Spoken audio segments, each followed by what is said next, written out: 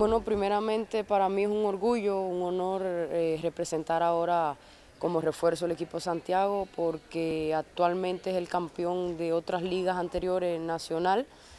y ha sido ha traído una trayectoria buenísima y para mí es un orgullo, un privilegio estar ahí dentro de esas tres jugadoras porque son tres refuerzos que piden y yo fui la primera. Para mí sí es un orgullo estar ahí representando al equipo Santiago, ahora en esta segunda etapa. Me entiendo principalmente con las jugadoras porque ya he estado con la mayoría de ellas en la selección sub-17, mayores, sub-20 y sí, seguiría creciendo como a mi personal. Individualmente seguiría creciendo y, estoy ahí como una función que es como nueve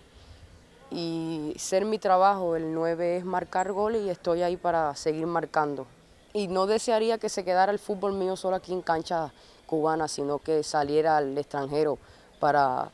tener experiencia y aportar más al fútbol.